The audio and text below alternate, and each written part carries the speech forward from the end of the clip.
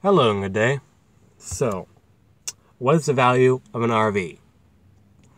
Today I'm going to talk about obviously the value of an RV, but the fact that pretty much anything with a motor, if not everything with a motor, goes down in value, not up.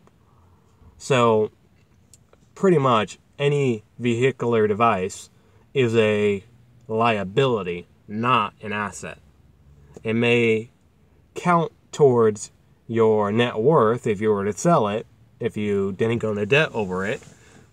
Even then, it would probably still mathematically improve your net of worth, even though the original purchase was a definitely a bad wealth building idea. However, the actual fact that you don't make money off of it, you spend money on it, or maybe if you have a job that requires a vehicle, then you can and you can say with labor comes some kind of pay, but usually a difference between a thousand dollar reliable vehicle and a twenty thousand dollar reliable vehicle doesn't really matter in that case, and the vehicle itself is still going to go down in value. And that includes RVs which, you know, or motorhomes of some type or another, they go down in value drastically, just like most motored vehicles. Even though it is, even if you take the wheels off or put in and or put in cement, so it can't really drive anymore, it's still a motorhome. It's still on the market. It's perceived perceived as a not as a home, but as a vehicle, and therefore it is going to go down in value. And okay, it's okay to have an RV if it's a small part of your world. If you put $100,000 into an RV, you have to understand that five years from now, that's probably going to be a $10,000 v, v, RV.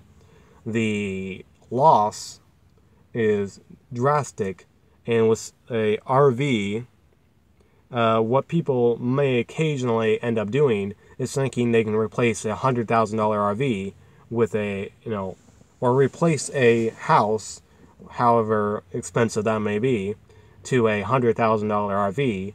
Except an RV is going to go down in value.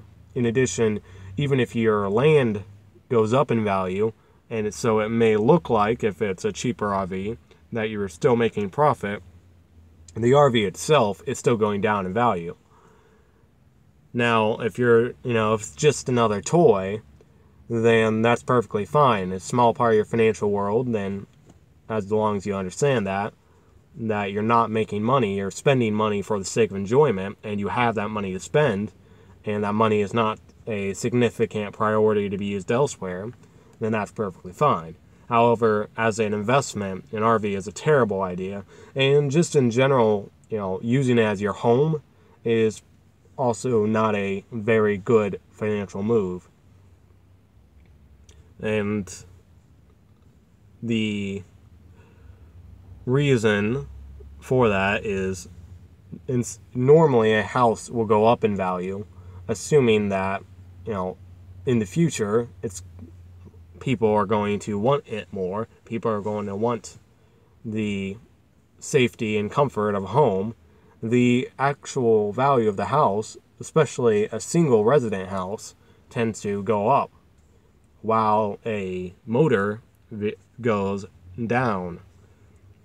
And usually, a home can be a great investment. The fact of you're not having to pay any more mortgage or you know, those kind of rent or mortgage, basically, can drastically decrease your cost of living expense.